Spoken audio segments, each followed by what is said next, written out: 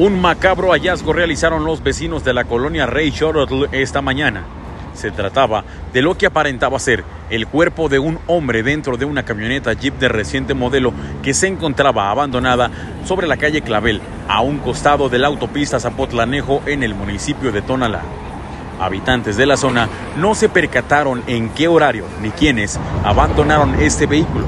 Sin embargo, al acercarse notaron que de la parte trasera emanaba bastante líquido hemático, por lo que se apresuraron a realizar el llamado al 911. Al arribo de las unidades de emergencia corroboraron que se trataba de un hombre de entre 25 a 30 años de edad, del cual se desconocían las causas de su muerte. El lugar quedó resguardado por la Comisaría Preventiva de Tonalá y agentes del Ministerio Público a la espera del Instituto Jalisciense de Ciencias Forenses. Reportó Juan Carlos Magno.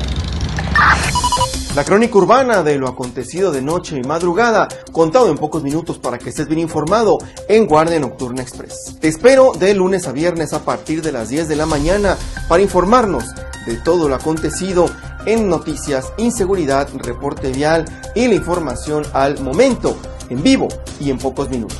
Soy Jorge Benetti y te espero de lunes a viernes en 10 de la mañana, Guardia Nocturna Express.